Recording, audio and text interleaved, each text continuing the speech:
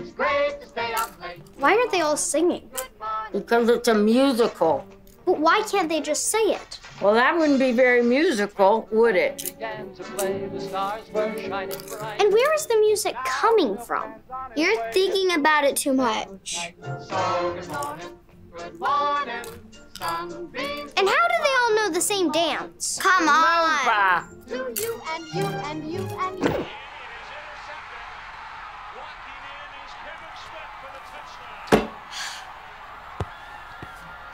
What are you looking for? A brooch. What's a brooch? It's a piece of jewelry. In my acting book, there's an exercise where you look for a missing brooch in a convincing way. Why? According to the story, it was given to me by a friend so I could afford to stay in drama school, but now it's gone. Well, good luck finding it. Thanks. Wait. You really believed I was looking for something? I did it. I'm an actor. You're a freak. Oh, where the heck is that brooch?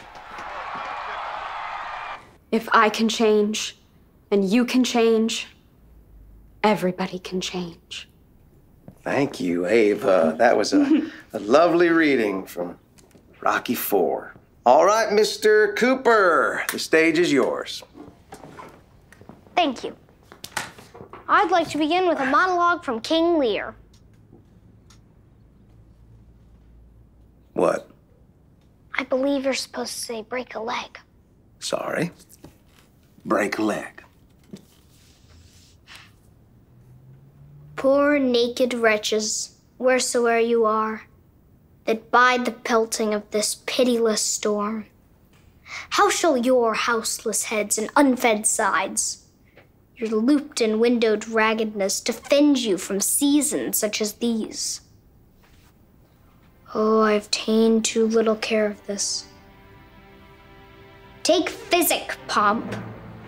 Expose thyself to feel what wretches feel, that thou may shake the superflux to them and show the heavens more just.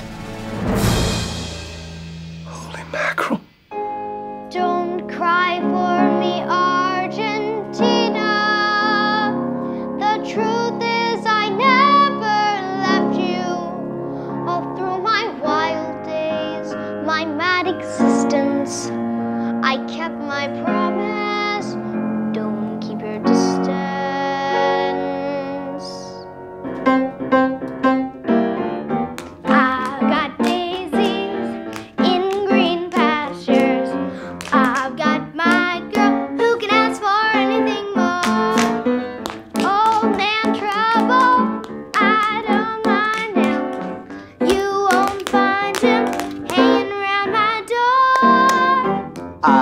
Starlight. I've got sweet dreams. I've got my star. Who could ask for anything more? Who could ask for anything more? Woo! That looked dangerous. No, that looks dangerous.